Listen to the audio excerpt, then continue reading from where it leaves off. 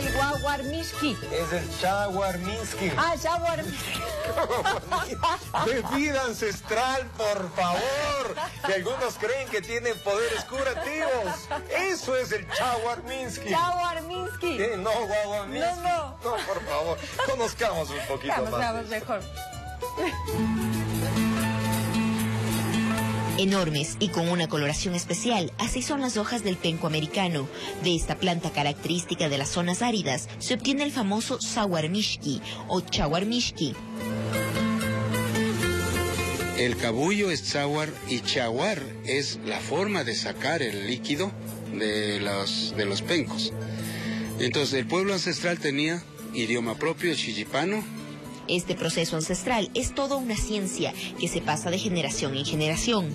Varias décadas le ha tomado a Mercedes aprender cómo se obtiene este jugo dulce. Ya hay que ver en dónde está el centro, más o menos la quinta este, hojita se le saca.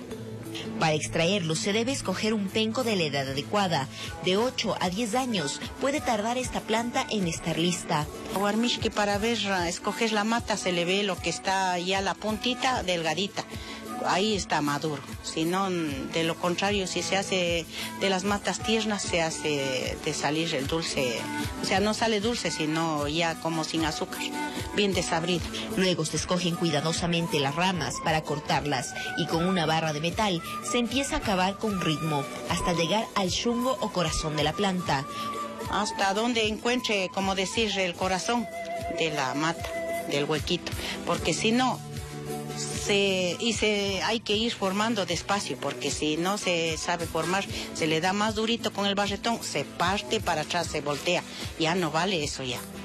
Si se deja pasar el penco, se hace un tronco que termina seco. En cambio, si se saca el líquido dulce en vida, la planta permite que sus hijos o plantas más pequeñas se desarrollen.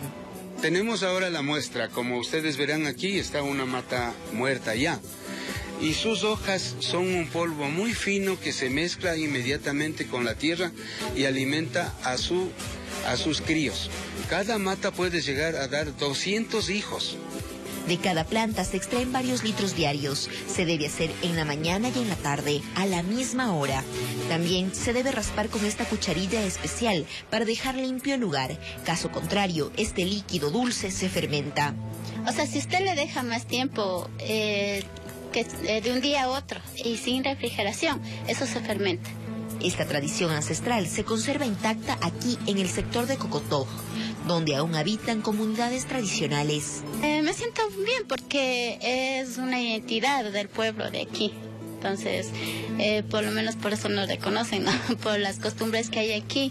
Los beneficios de esta bebida natural están relacionados con energía y vitalidad. También tiene un uso preventivo para la artritis y los dolores de huesos.